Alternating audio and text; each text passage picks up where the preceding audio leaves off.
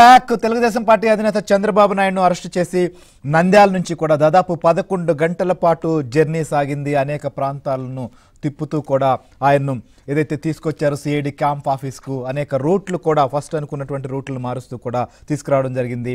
Road మార్గాన ప్రయాణిస్తున్నటువంటి సందర్భంగా అనేక మంది ప్రజలు కావచ్చు కార్యకర్తలు నాయకులు కూడా సంఘీభావం తెలిపేందుకు రోడ్ల మీదకి రావడం కాన్వాయ్కు అడ్డు నిలబడి కూడా సంఘీభావం తెలిపిన పరిస్థితులు కొన్ని చోట్ల పోలీసులు వారిని చెదరకొట్టారు లాఠీ చార్జీలు చేశారు. అయినప్పటికీ కూడా నాయకులను గృహ నిర్బంధాలు చేసిన క్యాడర్ మాత్రం ఎక్కడా మొక్కువని విశ్వాసంతో రోడ్లపైకి వచ్చి తమ యొక్క నిరసన తెలియజేసినటువంటి పరిస్థితులను కూడా మనం చూసాం. ప్రస్తుతం సిఐడి ఆఫీసుకు కూడా చంద్రబాబును తీసుకొచ్చారు. దాదాపు ఆయన్ని ఆఫీస్కి తీసుకొచ్చి అర్ధ గంటకు పైగా సమయం పడుతోంది. దాదాపు ఐదు ప్రాంతంలో కూడా చేరుకున్నారు. తర్వాత ఆయన కొద్దిసేపు ఆగి ఆయన ఏదైతే ఆఫీసుకు కూడా రీచ్ అయినటువంటి పరిస్థితి మనం విజువల్స్లో కూడా చూస్తున్నాం. అయితే ప్రస్తుతం క్యాంప్ ఆఫీసులో ఏం జరుగుతోంది? సో ఆయన రెస్ట్ తీసుకుంటున్నారా? లేకపోతే వారిని సంబంధించినటువంటి అంశాల్లో ఏదైనా అధికారులు వారితో మాట్లాడుతున్నారా?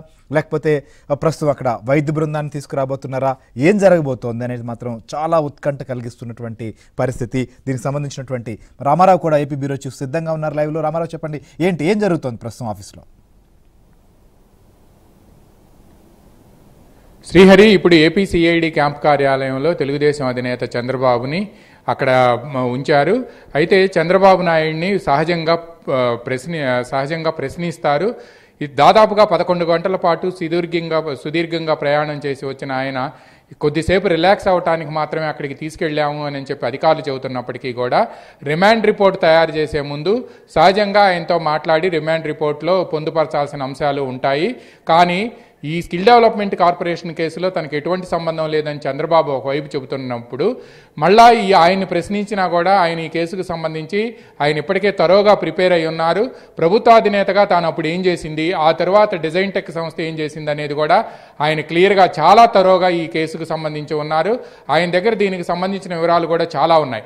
అయితే ఈ కేసుకు సంబంధించి తన పాత్ర ఎటువంటి లేదు లేదు అని కూడా చంద్రబాబు పదే పదే చెప్తున్నారు. గతంలో తెలుగుదేశం పార్టీ నేతలు కూడా ఇదే చెప్పారు. అందువలన ఇప్పుడు చంద్రబాబును ప్రత్యేకంగా ప్రశ్నించి అక్కడ వీళ్ళు సాధించేది కూడా ఏమి ఉండదు అని అని చెప్పి అనిపిస్తుంది. ఈ నేపథ్యంలోనే ఆయన కొద్దిసేపు రిలాక్స్ అవటానితో పాటు అక్కడ ఉండే పోలీస్ అధికారులు ఆయనకు ఉండే రిమాండ్ రిపోర్ట్ని కోర్టుకు వచ్చినప్పుడు ఇస్తారు. అదేవిధంగా లేని పక్షంలో అక్కడే రిమాండ్ రిపోర్ట్ని ఇచ్చి చదువుకోమని చెప్పి సంతకాలు చేయమన్నా కూడా చంద్రబాబు ఆయన లాయర్లను అడగకుండా ఎట్టి పరిస్థితుల్లో కూడా సంతకాలు చేసే అవకాశమే లేదు అనేది మనకు స్పష్టంగా అర్థమవుతుంది. పైగా చంద్రబాబు లాయర్లను ఎవరిని కూడా అక్కడ సిఐడి కార్యాలయంలోకి యాక్సెప్ట్ చేయలేదు. లేదు. చంద్రబాబు కుమారుడు లోకేష్ కానీ ఆయన సతీమణి భువనేశ్వర్ని కానీ అక్కడికి అనుమతించాలి అని అని చెప్పి ఆయన లాయర్ల ద్వారా సిఐడి అధికారులను సంప్రదిస్తున్నారు. లేని పక్షంలో విజయవాడ ప్రభుత్వ ఆసుపత్రిలో ఆయనకు పరీక్షలు నిర్వహించాలని చెప్పి ప్రభుత్వ ఆసుపత్రి వద్ద కూడా బందోబస్తును విస్తృతంగా ఏర్పాటు చేశారు. అయితే వైద్య బృందం అక్కడికి వెళ్ళి ప్రత్యేక వాహనంలో అక్కడికి వెళ్ళి అక్కడి నుంచి చంద్రబాబుని నేరుగా పరిశీలి పరీక్షించి ఆ రిపోర్ట్స్ ఇస్తారా? లేదా ఈసీజీ కానీ లేకపోతే ఇవన్నీ కూడా ఇక్కడ ప్రభుత్వ ఆసుపత్రి ఉండటంతో కొత్త ప్రభుత్వ ఆసుపత్రి ఉండటంతో అక్కడికి తీసుకొచ్చి మెడికల్ ఎగ్జామినేషన్ చేసిన తర్వాత వాళ్ళు ఇచ్చే సర్టిఫికెట్ ఆధారంగా ఆయన్ని కోర్టులో ప్రొడ్యూస్ చేస్తారనేది కూడా తేలాల్సి ఉంది. బట్ యాజ్ ఆఫ్ నౌ అయితే మాత్రం చంద్రబాబు నేరుగా ఇక్కడ అక్కడ కొద్దిసేపు రిలాక్స్ అయ్యి ఈ లోపు రిమాండ్ రిపోర్ట్ కూడా తయారు చేసిన తర్వాత అక్కడి నుంచి నేరుగా తీసుకువచ్చి విజయవాడ ఆసుపత్రిలో మెడికల్ ఎగ్జామినేషన్స్ అయిపోయిన తర్వాత నేరుగా విజయవాడ సిఐడి కోర్టుకు తీసుకువెళ్ళే అవకాశం ఉంది అని చెప్పి మనకు సమాచారం అందుతుంది. ఇప్పటివరకు అయితే మాత్రం సిఐడి కార్యాలయంలో చంద్రబాబుని అక్కడ ఉండే అధికారులు ఆయన కొద్దిసేపు రిలాక్స్ అయ్యేందుకు అవకాశం కల్పిస్తున్నారని తెలిసింది. అయితే ఈ రిమాండ్ రిపోర్ట్ ఎలా ఉందో చూసేందుకు కూడా కొద్దిసేపటి క్రితం అడ్వకేట్ జనరల్ కూడా అక్కడికి వెళ్ళారని చెప్పి మనకు సమాచారం అందింది. ఎందుకంటే అడ్వకేట్ జనరల్ ఆ రిమాండ్ రిపోర్టును స్టడీ చేయాల్సి ఉంది. ఇప్పుడు విజయవాడ సిఐడి కోర్టులో కూడా డిజిగ్నేటెడ్ కోర్టులో కూడా ఇక్కడ supreme court senior criminal lawyer Siddhartha లూత్రాతో పాటు మాజీ అడ్వకేట్ జనరల్ దమ్మాలపాటి శ్రీనివాస్ మరో సీనియర్ అడ్వకేట్ పోసాని వెంకటేశ్వర్లు వీళ్ళంతా కూడా అక్కడ వాదనలు వినిపించేందుకు సిద్ధమవుతున్న తరుణంలో ప్రభుత్వం వైపు నుంచి అడ్వకేట్ జనరలే నేరుగా వాదనలు వినిపిస్తారు. లేని లేని పక్షంలో additional advocate general Ponnavolu Sudhakar Reddy కానీ వాదనలు వినిపించే అవకాశం ఉందని చెప్తున్నారు. లేని పక్షంలో సిఐడి కానీ ఏసీబీ తరపున గవర్నమెంట్ ప్లేడర్స్ ఎవరైతే హైకోర్టులో ఉన్నారో వాళ్ళు వచ్చి కూడా వాదనలు వినిపించే అవకాశం ఉంది. సహజంగా ప్రివెన్షన్ ఆఫ్ కరప్షన్ యాక్ట్ పెట్టడంతో సిఐడి ఆ కేసు నమోదు చేయడంతో పది సంవత్సరాలు పైన శిక్ష పడే కేసు కావటంతో ఈ కేసులో సుప్రీంకోర్టు మార్గదర్శక సూత్రాల ప్రకారం విడుదల చేసే బిలో సెవెన్ ఇయర్స్ సెక్షన్లు మిగతా ఎన్నో ఉన్నప్పటికీ కూడా విడుదల చేసే అవకాశం లేదు. అందువల్లనే ఈ కేసులో రిమాండ్కు పంపించాలి. ఆయన మీద ప్రాథమిక సాక్ష్యాధారాలు ఉన్నాయి. ఆయన మరింత ఈ కేసులో విచారించాల్సిన అవసరం ఉంది అని చెప్పి ప్రభుత్వం వైపు వాదనలు వినిపించే అవకాశం ఉంది. అదేవిధంగా ప్రివెన్షన్ ఆఫ్ కరప్షన్ యాక్ట్ అసలు ఈ కేసులో అట్రాక్ట్ కాదని అందువలన రిమాండ్ని రిజెక్ట్ చేయాలి అని చెప్పి చంద్రబాబు తరపున సీనియర్ న్యాయవాది supreme court senior criminal lawyer Siddhartha Siddhartha Luthra బృందం వాదించే అవకాశం ఉంది. ఇప్పుడైతే మాత్రం చంద్రబాబు సిఐడి ఆఫీసులో క్యాంప్ కార్యాలయంలో తాడే కుంచనపల్లి వద్ద ఉన్న సమృద్ధి ఎంక్లేవ్లో ఉన్నారు. ఆయన అక్కడిని ఆయన అక్కడి నుంచి నేరుగా విజయవాడ కొత్త గవర్నమెంట్ హాస్పిటల్కి తీసుకొచ్చే అవకాశాలు అక్కడ మెడికల్ ఎగ్జామినేషన్ చేసిన తర్వాత హీఈస్ ఫిట్ ఫర్ రిమాండ్ అని చెప్పి అక్కడ సర్టిఫికేట్ తీసుకొని కోర్టులో ప్రొడ్యూస్ చేసే అవకాశాలు ఉన్నాయి శ్రీహరి. రైట్ రామారావు మనం చూస్తున్నాం. ఒక టెన్షన్ వాతావరణం నెలకొనుంది. అటు విజయవాడలో కావచ్చు లేదా మొత్తం ఆ ప్రాంతం అంతా కూడా ఒకవైపు పవన్ కళ్యాణ్ కూడా ఆంధ్రప్రదేశ్కి రావాలంటే ప్రత్యేక చాఫర్కి అనుమతి లేదంటున్నారు. కానీ ఎట్టి పరిస్థితులు ఆయన చేరుకుంటామంటున్నారు. మరొక వైపు లోకేష్ కూడా పాదయాత్ర నుంచి కూడా ఆయన రిటర్న్ రావడం జరిగింది. చంద్రబాబు నాయుడును కలిసేందుకు కూడా. ఈ పరిస్థితుల్లో అక్కడ కోర్టు దగ్గర కూడా ఏసీబీ కోర్టు దగ్గర కూడా ఒక టెన్షన్ వాతావరణం అయితే కొనసాగుతున్నట్లుగా తెలుస్తోంది. అక్కడ పరిస్థితి ఏంటి? ప్రస్తుతం ఎందుకు ఇంతలా అందరినీ కూడా కట్టడి చేస్తున్నారనుకోవచ్చు? అయితే పవన్ జనసేన అధినేత పవన్ కళ్యాణ్ ఈరోజు మధ్యాహ్నం మూడు గంటలకే రావాల్సి ఉంది. అయితే పవన్ కళ్యాణ్ ఫ్లైట్లో సాంకేతిక లోపం వచ్చింది అని అని చెప్పి కూడా జనసేన నేతలు చెప్తున్నారు. కానీ మరికొంతమంది జనసేన నేతలు మాత్రం ఆయన ఫ్లైట్కి అనుమతి ఇవ్వలేదు అని అని చెప్తున్నారు.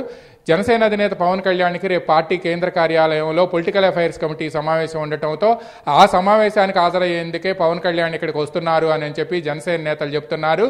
కానీ ప్రభుత్వం మాత్రం చంద్రబాబును కలిసేందుకు పవన్ కళ్యాణ్ వస్తున్నాడు. వాళ్ళిద్దరూ కలిస్తే మాత్రం ఇబ్బందులు ఎదురవుతాయి అనే ఉద్దేశంతోనే ఆయన ఫ్లైట్కి అనుమతి ఇవ్వద్దు అని అని చెప్పి బేగంపేట ఎయిర్పోర్ట్ అధికారులను కోరారు. అదేవిధంగా గన్నవరం ఎయిర్పోర్ట్ అధికారులను కోరారని చెప్తున్నారు. కానీ ఒకసారి డీజీసీఏ పర్మిషన్ ఇచ్చిన తర్వాత ఎట్టి పరిస్థితుల్లో కూడా బేగంపేట ఎయిర్పోర్ట్లో కానీ లేకపోతే ఇక్కడ గన్నవరం ఎయిర్పోర్ట్లో కానీ అనుమతించాల్సిన ఫ్లైట్ టేకాఫ్కి బేగంపేట ఎయిర్పోర్ట్లో ఫ్లైట్ ల్యాండింగ్కి గన్నవరం ఎయిర్పోర్ట్లో అనుమతి ఇవ్వాల్సిందే కానీ రిజెక్ట్ చేసే అవకాశం లేదు అని అని చెప్పి కూడా గ్రౌండ్ గ్రౌండ్ ఇంజనీర్లు చెబుతున్నారు ఈ నేపథ్యంలోనే మరికొద్దిసేపట్లో బేగంపేట ఎయిర్పోర్ట్ నుంచి ఇప్పుడైతే పవన్ కళ్యాణ్ బేగంపేట ఎయిర్పోర్ట్లో ఉన్నారు. ఒకవేళ పోలీసులు అనుమతి ఒకవేళ నిజంగానే వాళ్ళు అనుమతి నిరాకరిస్తే మాత్రం పవన్ కళ్యాణ్ బై రోడ్డు రేత్రి అర్ధరాత్రికి కానీ లేకపోతే రేపు ఉదయానికి కానీ జనసేన కేంద్ర కార్యాలయానికి చేరుకునే అవకాశం ఉంది. పొలిటికల్ అఫైర్స్ కమిటీ సమావేశం ఉండటంతో ఆ పొలిటికల్ అఫైర్స్ కమిటీ సమావేశానికి కావ అవసరమైన నేతలు అందులో సభ్యులైన నేతలంతా కూడా ఇప్పటికే కేంద్ర కార్యాలయానికి చేరుకుంటున్నారు. అందువలన పవన్ కళ్యాణ్ హాజరు అనేది తప్పనిసరిగా కూడా తెలు జనసేన నేతలు చెప్తున్నారు. ఇక లోకేష్ కూడా అక్కడికి వెళ్ళి కలిసే అవకాశం ఉంది. ఎందుకంటే లోకేష్ కోర్టులో కానీ కోర్టుకు వచ్చిన సమయంలో కానీ లేని పక్షంలో ఇక్కడ మా తాడేపల్లిలోని సిఐడి క్యాంప్ కార్యాలయంలో కానీ కలిసే అవకాశం ఉంది అని అని చెప్తున్నారు. అయితే కోర్టు వద్ద కూడా బృందాలన్నీ అయితే ఇటు ప్రభుత్వం వైపు నుంచి అటు చంద్రబాబు వైపు నుంచి వాదనలు వినిపించేందుకు బృందాలు ఉన్నాయి. అయితే న్యాయమూర్తి టైం అయిపోతే ఆమె ఇంటికి వెళ్ళే అవకాశం ఉంది. అందువల్ల ఇంటికి వాళ్ళతో కూడా ప్రొడ్యూస్ చేసే అవకాశాలు ఉన్నాయని చెప్తున్నారు. ఈలోపు సిఐడి వెళ్ళి ఏదన్నా రిక్వెస్ట్ చేస్తే మాత్రమే ఆమె కోర్టులో ఉండే అవకాశం ఉంటుంది అనేది కూడా మనకు సమాచారం అందుతుంది శ్రీహరి. రైట్. మీరు లైవ్లోనే ఉండండి.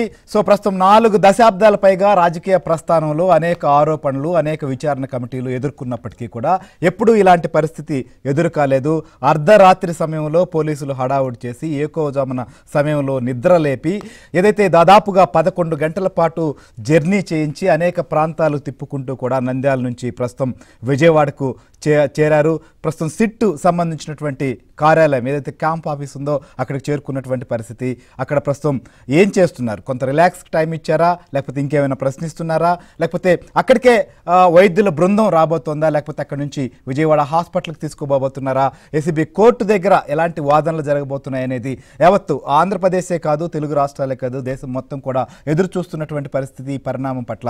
దీనికి సంబంధించి ఇప్పటి వరకు కూడా ఏదైతే అరెస్టుకు సంబంధించిన విషయంలో ఇప్పటి వరకు ఇలాంటి పరిస్థితులు